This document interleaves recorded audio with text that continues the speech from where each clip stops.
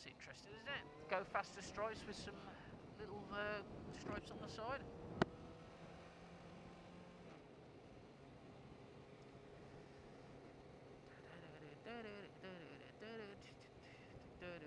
There's some tattoos on that girl. I don't have any tattoos. Uh, I like the look of tattoo art.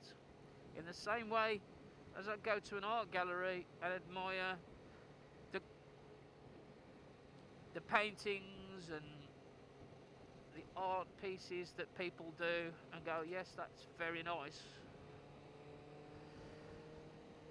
But I just there is nothing as far as I'm concerned nothing that I could get done tattooed that would be uh, one truly unique, two really amazing, and three that I could live with for the rest of my life. Uh, let's say I'm just a bit fickle. I get bored of things quite easily. So the last thing I want to do is tattoo something on my skin, and then about two weeks later go, oh, "I wish I hadn't fucking bothered."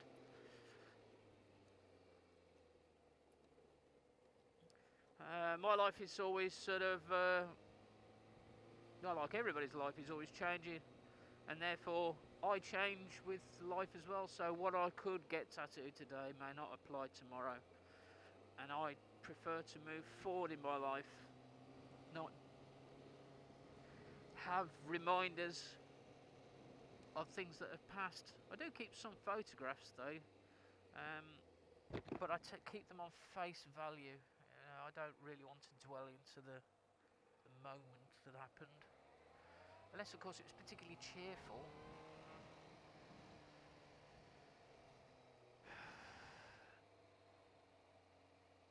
Uh, I don't visit cemeteries, for, for example. Any of my relatives have, uh, have passed on. I don't visit the cemeteries that they're in.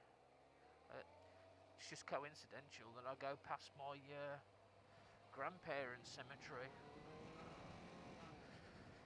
So, if people ask me, uh, and I'm feeling kind of amusing, uh, if they ask me, say, "Oh, uh, you know, where do you where do your grandparents live?" Then um, I'll uh, I'll say, "Oh, well, they they they they moved well, I haven't seen them since they, they've moved. And they go, you haven't seen them since they moved. Well, where did they move to? Oh, uh, Bentley Cemetery or uh, Streetly Cemetery where my other grandparents buried. And they go, oh, oh, oh, they are so funny.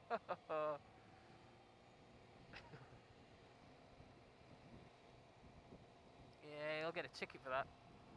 Double red lines. They're fuckers, the traffic wardens now.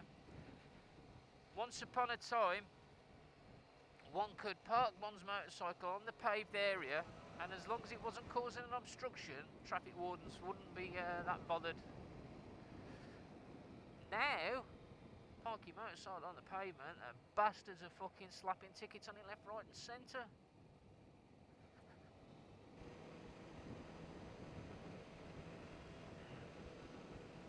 Apparently, uh, according to some article on the internet.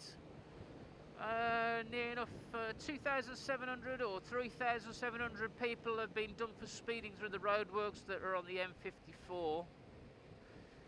Um,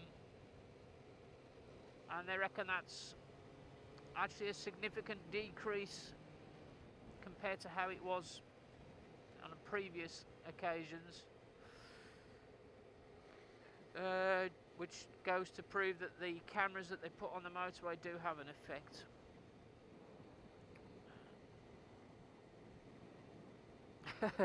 there were a few commentary posts about oh, it should uh, they should just get rid of them and all this kind of thing, and then some people who uh, are for them saying, well, actually, it's helping to protect the people who are working on the roadworks because I'm not comfortable with vehicles passing at 50 mile an hour, let alone 70 mile an hour, kind of thing.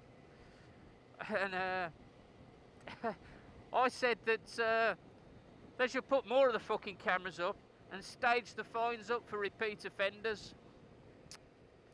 Because uh, 80% of car drivers are all fucking twats anyway, and the other 20% probably ride motorcycles and or drive a HGV. um, obviously, that's a trolling com comment. It's not it's literal. Uh, I was feeling in a bit of a troll mood.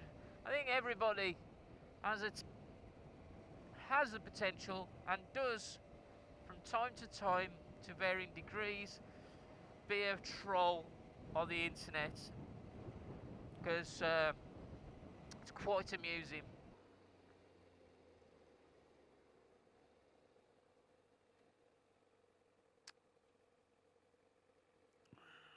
Go get some food and uh, then go and do these car balancy things.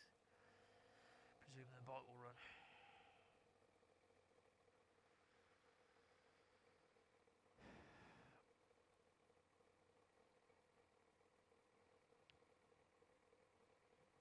Every time I come up to this island, you see the Tin Man's there.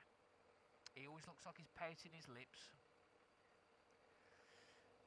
And when they welded him all up, well, they put him up in sections, I believe. When they welded him all up, they didn't finish it off, so he's got a hole in his arse cheeks. Which looks a bit looks a bit weird. I kind of always wonder what it would be like if he came alive one night. No, I got struck by lightning or something and come alive. Great, that's all need is like all this fucking stupid traffic. Come on, move, move, move. Loose dog in the front of that car. Always good practice having a dog, an animal, loose in your car. Because, you know, that's really clever. Dog gets startled or something. Its first, uh, first reaction may be to jump in the driver's lap.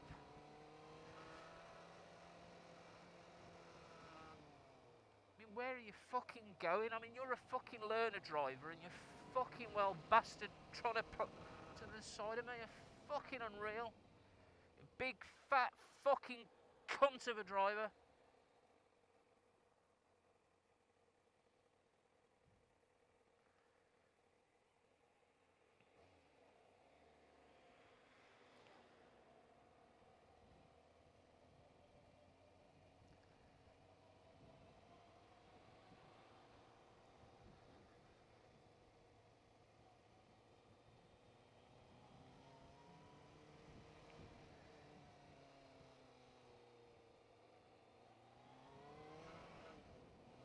Just goes to show that just because people are instructors or claim to be driving instructors or even motorcycle instructors does not necessarily mean that their driving practices are fucking good.